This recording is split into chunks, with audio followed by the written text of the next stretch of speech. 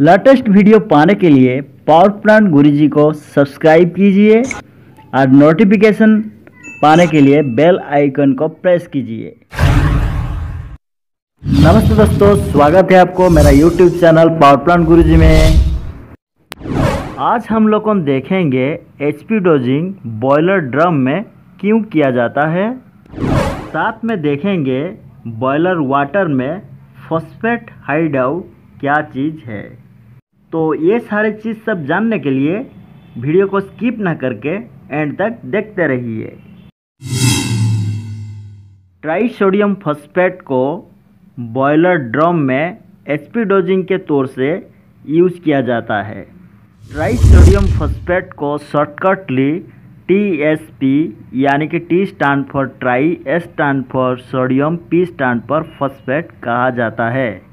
Try sodium phosphate का chemical formula है N A three P O four tri sodium phosphate boiler का water में pH को boost up करता है। साथ में बॉयलर का वाटर में जो कैल्शियम और मैग्नीशियम सॉल्ट है, उसका साथ रिएक्शन करके स्लोज फॉर्मेशन करता है बॉयलर का ड्रम में।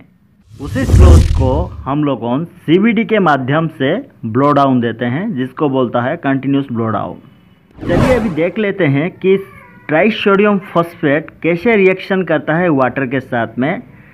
ट्राइसोडियम फॉस्फेट प्लस वाटर जब रिएक्शन करेंगे, तब disodium phosphate plus sodium hydroxide formation होगा। सोडियम हाइड्रोक्साइड जो है, वो पीएच बूस्टअप करता है। ट्राइसोडियम फॉस्फेट वाटर में जो प्रेजेंस है कैल्शियम सल्फेट उसका साथ रिएक्शन करके sodium sulphate plus calcium phosphate सोज क्रिएट करेगा।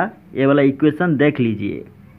उसी तरह ट्राइसोडियम फॉस्फेट मैग्नीशियम सल्फेट के साथ रिएक्शन करके sodium sulphate plus magnesium phosphate जो स्लोज है, उसको क्रिएट करता है। सिंपल सा डायग्राम है जिसमें मैं बताया हूँ कि बॉयलर का ड्रम में ट्राइसोडियम फॉस्फेट क्या काम करता है।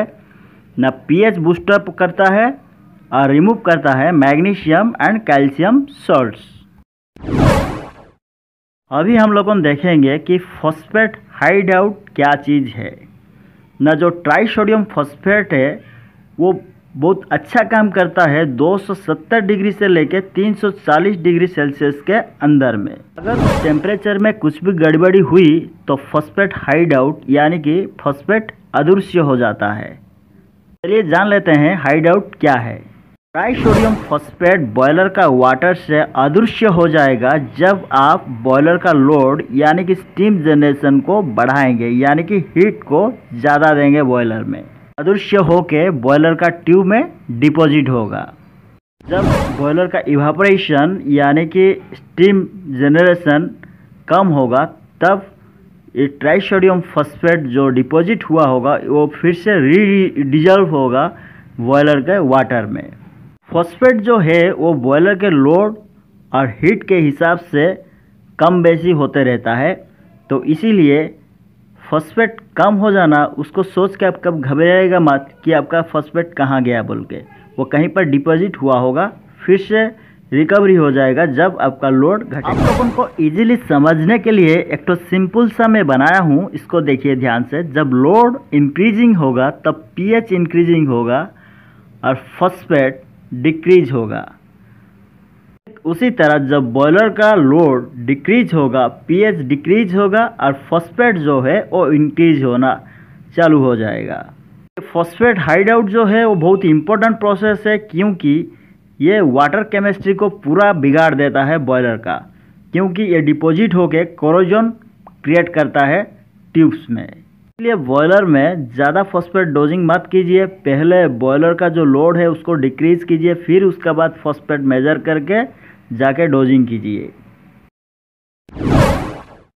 आशा करता हूँ दोस्तों, इस वीडियो में आपको कुछ नया चीज़ सीखने के लिए मिला होगा। अगर आपको ये वाला वीडियो अच्छा लगा है तो इसको लाइक और शेयर कीजिए। अगर आप मेरे चैनल में नया आए हैं तो इस चैनल को सब्सक्राइब कीजिए। ढेर सारे टेक्निकल वीडियो पाने के लिए। तो रहता हूँ दोस्तों थैंक यू बाय बाय फिर मिलेंगे अगले वीडियो में।